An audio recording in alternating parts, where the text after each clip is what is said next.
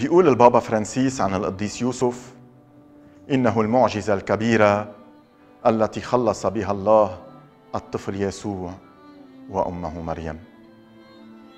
المعجزة الإلهية على طول حاضرة حتى تخلصنا على طول ناطرة عودتنا لبيت الآب حتى تعتني فينا وتهتم بأدق تفاصيل حياتنا. المعجزة الإلهية على طول بتبرم علينا وبتبحث عنا حتى تعطينا الحياة.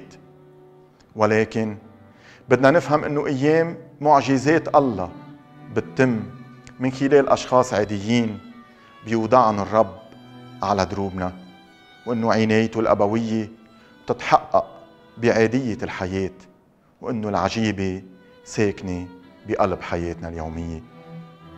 بهالمساء يا إخوة بصلي أنا وياكم للرب حتى تنفتح عيون قلوبنا على سر عنايته بحياتنا اليومية حتى ننتبه للأشخاص والأحداث يلي عنايته بتوضعن قدامنا كعجيبة لحبه يلي ما له حدود وكنعمه لحياتنا الغالية على قلب الله.